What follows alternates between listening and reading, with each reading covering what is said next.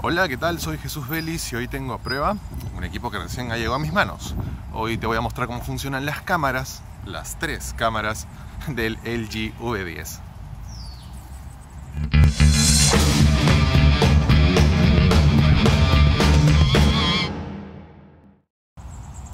Muy bien, ya tenemos a prueba entonces al LG V10, el nuevo equipo del LG, a la venta en el mercado peruano. Y me llama mucho la atención lo que es capaz de hacer este equipo en el tema de grabación de video. En el caso del foco, como ves, es bastante profundo. Tengo en la pantalla extra el, el control de zoom, así que es tremendamente útil cuando quiero aplicar zoom y no necesito que la mano me estorbe encima de la imagen Acá se está distorsionando un poco. Vamos a ver si hacemos un foco. Ahí está. Mire grado de detalle. Ahí está el zoom. Muy veloz. Insisto, el zoom no lo estoy aplicando directamente en la pantalla, sino tiene una pantalla extra en la parte de arriba. Puedes ver el unboxing para entender lo que te estoy contando. Tengo foco automático también. Aquí ya debería irse para acá. Uh, está fallando el foquito. Ahí está. Ahora sí regreso a la toma. Cuenta con Steady Shot y estabilizador óptico de imagen. Maneja muy bien el contraluz. ¿ah? Es el mismo lente del G4, nada más que cuenta con unos cuantos añadidos en software. Como ves, la imagen, el estabilizador trabaja sumamente bien. Acá tenemos un, detalle muy, muy iluminado. Vamos a verlo aquí. Ahí está. Mira el desenfoque. Apertura 1.8. Tremendo trabajo el de este lente. Tremendo. Y eso que estoy trabajando en el modo semiautomático.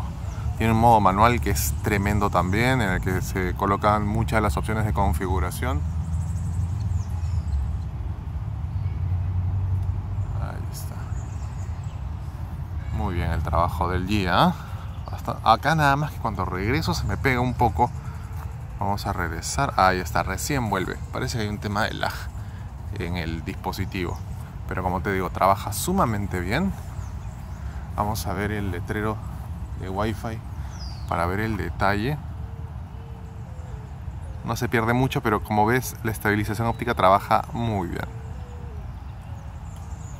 Vamos a prueba 4K en un rato también.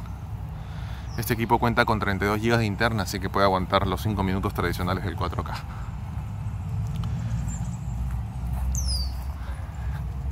Mira cómo, despega el borde de las flores con la cantidad de luz que hay. Luz directa. Y mira cómo maneja el tema del regreso a las sombras. Muy bien. Hace un muy bonito trabajo este lente. El balance de, de, luz y color en el lente es muy parecido al que tengo frente a mí. En verdad, tremendo trabajo. Y me estoy moviendo chuscamente y igual se ve bastante bien todo. Foco. Mira el buque atrás. Muy buen trabajo el del día aquí. ¿eh? Ya lo habíamos alabado en el G4. Eso me preocupa un poco, el, regreso al, al foco total. Pero en fin. Nuevamente zoom para el detalle. Ahí está, regresamos. Y ahora voy a mostrar una toma con el lente delantero, pero solamente con un lente. Bien, este es el lente delantero, uno de los lentes delanteros. Vamos a ver cuál es. Ah, es el segundo, ok. Hay dos lentes en la parte de adelante que son dos puntitos, están uno muy pegado al otro y lo que permite es un mayor ángulo de visión en, la toma selfie. En este caso, por ejemplo, como ves, eh, al usar un solo un lente, tengo 80 grados de apertura que bueno, eh, en verdad es bastante buena, pero no es suficiente si lo comparo con el otro. Ahora, eh, igual acá hay un detalle respecto al equipo, como pesa 190 gramos, sí se nota un poco y, y, esta parte ya empieza a arquearse y empezar a doler. Estoy estirando ahí más o menos el brazo para que pueda entrar, pero ya siento esta parte que me empieza a doler por el peso del equipo. No es que sea una nena, sino que el estar con un equipo bastante pesado ya genera estas cosas porque no tiene que estar con el brazo quieto buen rato pero hace un buen trabajo igual, graba 180, 30 frames por segundo. Ya hace una buena chamba creo yo. Ahora vamos a ver el otro plano, pero con las dos cámaras prendidas.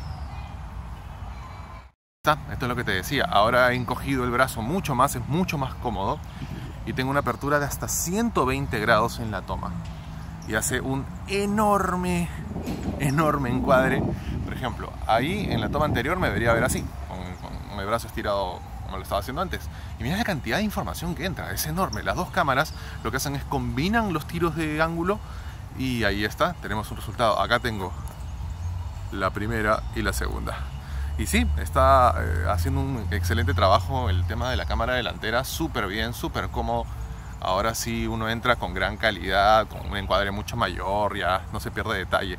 Quieres tomar una foto en grupo, entran hasta 10 ahí. Mira, ahí está la toma. No tanto como una GoPro, pero bastante amplio también. Muy bien, tengo a prueba esta cámara entonces. Bueno, este equipo, el LG V10, ¿qué te pareció? Eh, creo yo que hace un buen trabajo. ¿ah? Es un excelente combo de cámaras. El asunto es que las cámaras delanteras tienen 5 megapíxeles de resolución y no por tener las dos juntas se amplía 10. No, se sigue manteniendo en 5, pero hace este, esta combinación de ángulos para que no tenga una toma de mayor, de mayor amplitud. Deja tus comentarios debajo del video, dale pulgares arriba. Si te gustó, coméntalo y compártelo en tus redes también. Y suscríbete aquí a mi canal de YouTube en youtube.com slash También voy a hacer una toma con calidad 4K, así que no te pierdas los detalles del siguiente video. Gracias.